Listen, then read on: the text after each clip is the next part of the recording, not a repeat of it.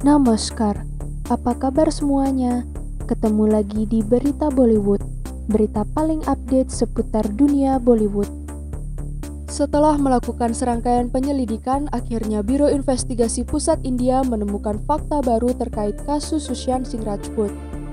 Sebelum kita melanjutkan video ini, jangan lupa klik tombol subscribe agar tidak ketinggalan update terbaru seputar berita Bollywood.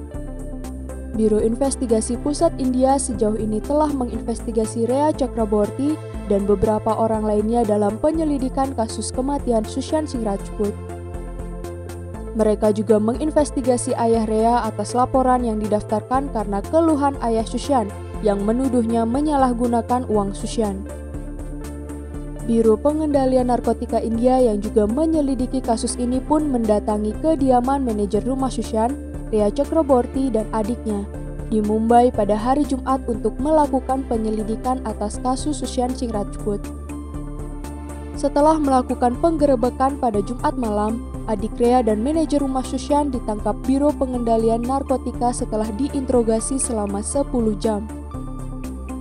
Penangkapan kedua orang tersebut dengan jelas menunjukkan bahwa ada kemungkinan Rea Chakraborty juga akan ditangkap oleh Biro Pengendalian Narkotika.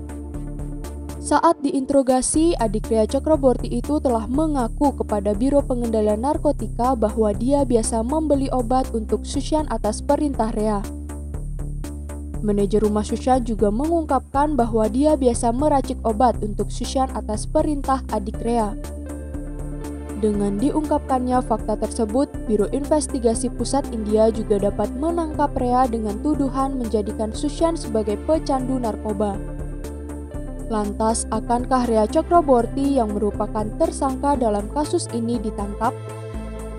Demikian informasi yang dapat kami sampaikan dan mari kita tunggu perkembangan selanjutnya mengenai kasus Sushant Singh Rajput.